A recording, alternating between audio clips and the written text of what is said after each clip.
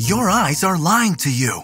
Right now, you're missing out on 99.9% of reality. But what if you could see everything? If humans could see the entire electromagnetic spectrum, the world wouldn't just look different, it would be a total sensory overload. Take Wi-Fi, for example. You'd see internet signals bouncing off your walls. Nightclubs, useless. You'd spot infrared heat glowing from everyone like a thermal scanner. Hospitals would be terrifying.